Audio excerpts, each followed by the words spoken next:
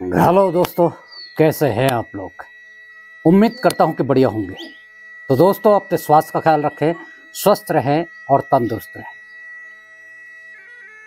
तो दोस्तों, आज मैं अभी आ रहा हूँ तिपोला से घर को, और क्योंकि मौसम आज बहुत ही ख़राब था, बारिश का पूरा अंदेशा था, क्योंकि बारिश शुरू हो चुकी थी, और ऐसा लग रहा था कि शाम तक का बारिश रहेगी चालू आज। और इसी चक्कर में मैंने कहा, चलो, आज जो है एक दिन घर में अपना बिताया जाए ऐसे बारिश के मौसम में। और इसी चक्कर में मैं अपना सामान कुछ नहीं था तो आटा भी लेकर के आया हूँ और लोगों के लिए दूध लेकर आया, अंडा लेकर के आया और छाता भी लेकर के आया। है लेकिन रास्ते में धूप खिल गई और बारिश ख़त्म हो गई। तो अब और रास्ते में फ़ोन भी आ गया कि भाई कुंचारी में मुझे गाय को इंजेक्शन लगाने के लिए भी जाना है। तो फिर देखते हैं आज का मौसम और आज का दिन कैसा रहता है। मैं हूँ आपका दोस्त लक्ष्मण सिंह बिष्ट और आप देख रहे हैं पहाड़ के रंग। द शेड्स ऑफ़ पहाड़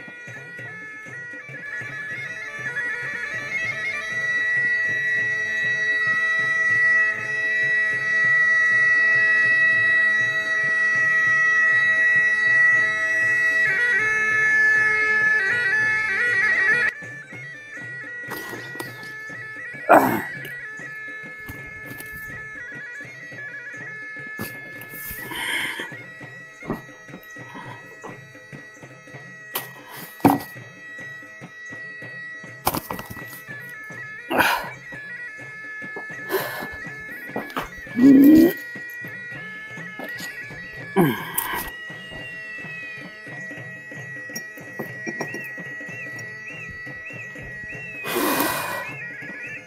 दोस्तों, तब तक मैं अंदर अपना सामान जो है सेट कर लेता हूँ और मुझे फिर थोड़ी देर में निकलना पड़ेगा काम पर, क्योंकि कुंचारी मुझे जाना है।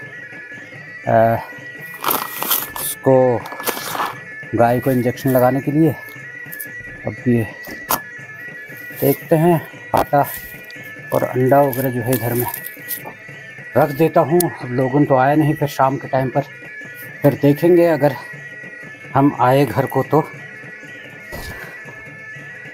फ़िलहाल सामान हम जो है इधर सेट कर देते हैं।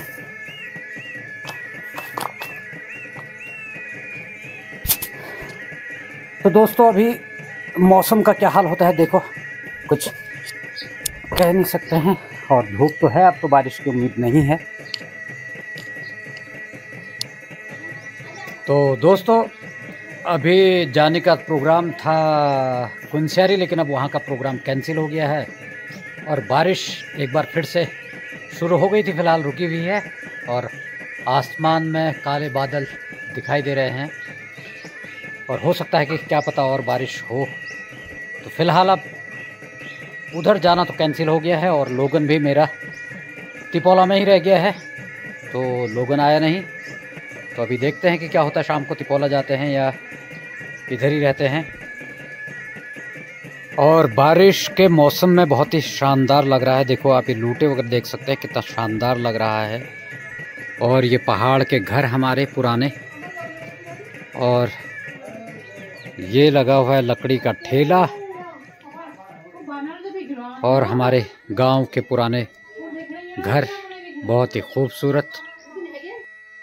और देख सकते हैं आप मौसम कैसा हुआ है अभी। और बादलों की गड़गड़ाहट भी सुनाई दे रही है। आसमान में काले बादल छाए हुए हैं।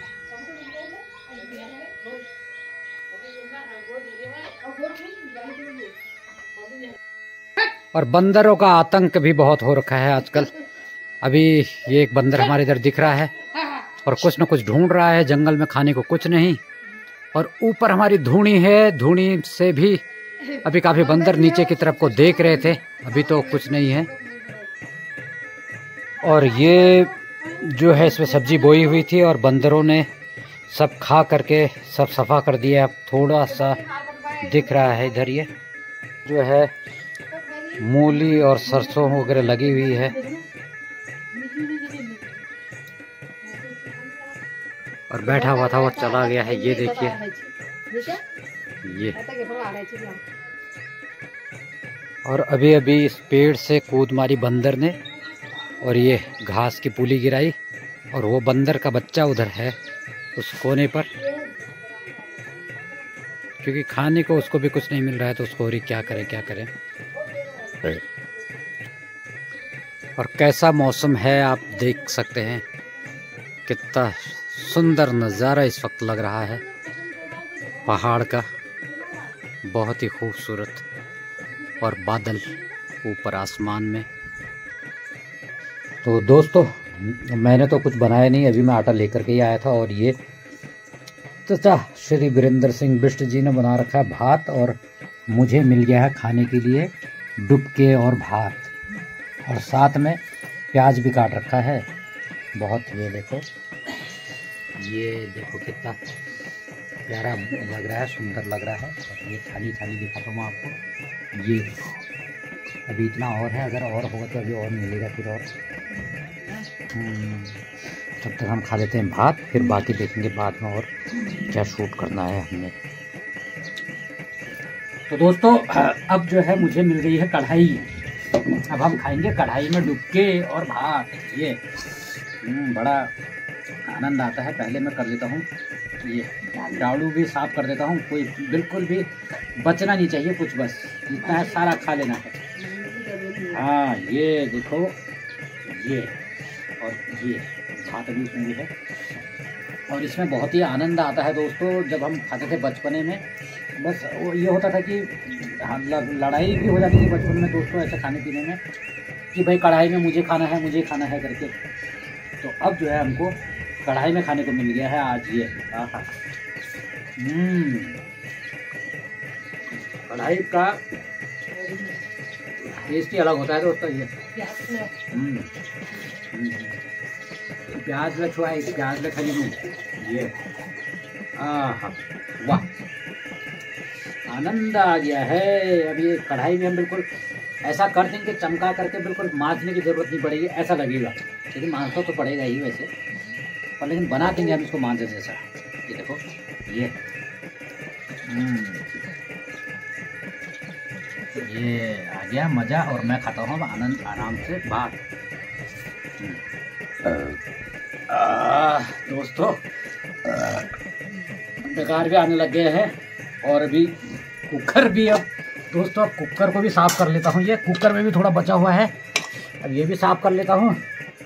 ये और और सब दोस्तों, ये खे खूब अब मेरा हम भाई पुठम पीड़ा ये दोस्तों जो खानों में भात भात पुठम, अब ये पुठम पीड़ा हम भाई और लेकिन टेस्टी ये तो है कि अब छोड़ने मन नहीं करने लग रहा है। तो मैंने कहा भाई पूरा ही खा लो, अब जितना बचा हुआ है सब खा लेता हूँ, और फिर उसके बाद भरता हूँ हुक्का। फिर हुक्का पीता हूँ, पच जाएगा थोड़ा सा सेट हो जाएगा ऐसा लग रहा है फिर अब। देखते हैं। अब पहले भात का निपटा लेता हूँ, ये सब निपटा दिया मैंने आज ये। हाँ दोस्तों, लेकिन पूठम बहुत है पीड़ हम बेगी मेरी अब ये भात खावे सर बहुत है पीड़ है जी मेरे पूठम। क्योंकि पेट फूल जहाँ भात खावे थी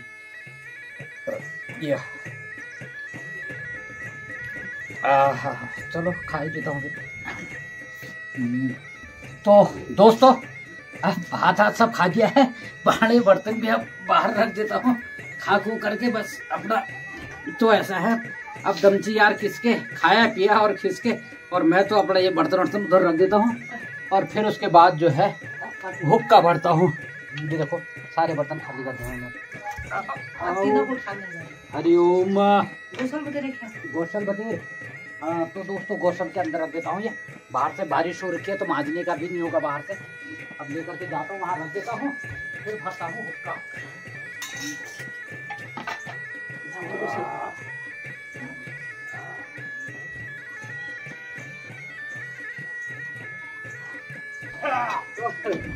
दोस्तों, खा तो लिया है, और हाथ और कढ़ाई में खाने का ये देखो, ये हाथ है कि मेरा काउपट झोल झोल लाग गो हाथ पारी हो देखो अल्लाह मेल जब उठा जब तो हाथ धुण में लागी तो ये काउपट है हाथ। अब यह ला आगे नानछिना याद है कपट है आदमी। और ऊपर तेल लागी वाला छुयो अब अब ये निकल ला ना अब यो।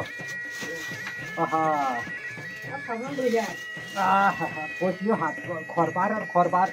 हम पहले पहले वो करछी केकनी जब ज़्यादा झोल होल लाग जब, अब बाव काव है तो ऐसे ऐसे करना पड़ता यो। इसे साफ़ कर दी बस। ये।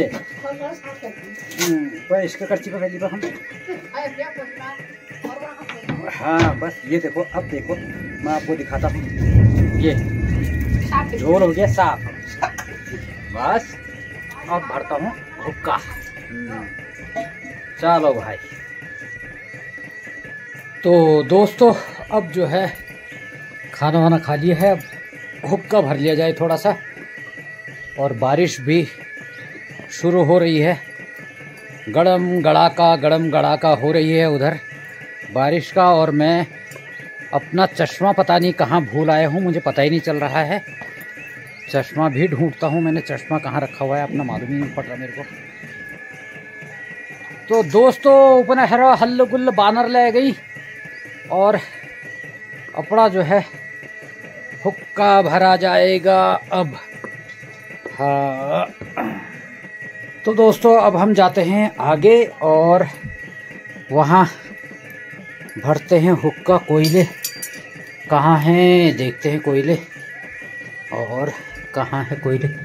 ये दोस्तों, आजकल जो है एक एन वगैरह है कुछ। अब उसका मुझे एक्चुअल में नाम पता नहीं है। तो एनजीओ वालों ने ये दिया हुआ है एक गैस स्टोव चूल्हा लकड़ी वाला ग्रीन वे करके है ये। इस स्टोव पर लिखा है और इसकी आग देखिए कितनी शानदार है बहुत ही छोटी छोटी लकड़ियाँ इसमें आपको जलानी पड़ती हैं। और यहाँ ऊपर आपका खाना बन जाता है अभी पानी रखा उबालने के लिए।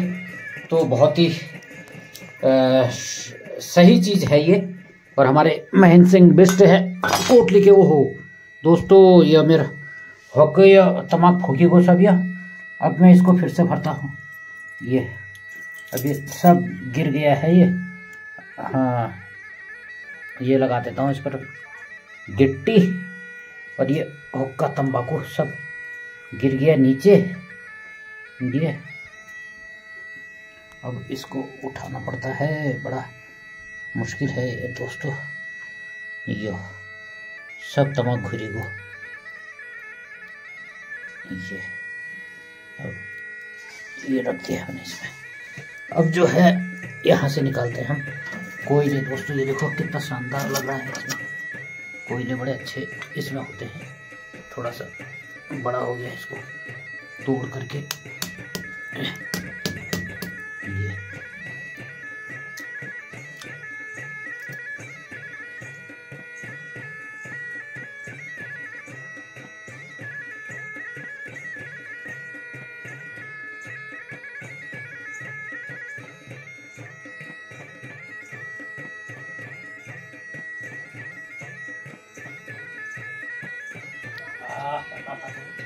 तो दोस्तों बस हुक्का अब जो है तैयार है और यहाँ बैठ जाए जाए अब आड़ा ले करके आराम से और हुक्के का आनंद लेते हैं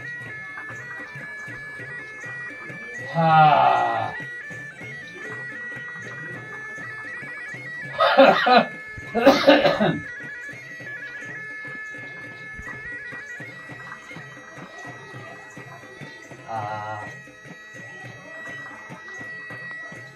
तो दोस्तों, बचपन में हम देखते थे कि हमारे बूबू लोग जो है, इधर खिड़की पर बैठ करके ऐसे आराम से बाहर को हाथ करके जो है तंबाकू पिया करते थे।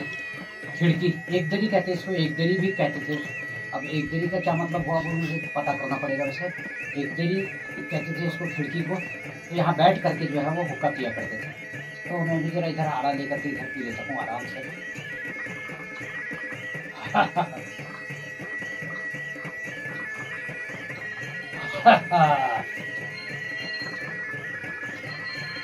और बाहर हो चुकी है बारिश। जरा हमारे दर्शकों को जरा बारिश भी दिखा दो बाहर। बारिश का दोस्तों, ऐसा होता है कि आराम करो बारिश में बस और हुक्का पियो, चाय पियो, पकौड़ी खाओ, ऐसे ही सब होता था पहले से। अभी बारिश है अब रहेगी, कितनी रहती और ये हमारे गाँव का है, हमारी बापरी का जो नज़ारा है, हमारी बापरी का है ये। और बारिश शुरू है और बंदर भी आ रहे हैं, बंदर और बंदरों को काम के लिए लोग बाहर खड़े भी हैं। आवाज़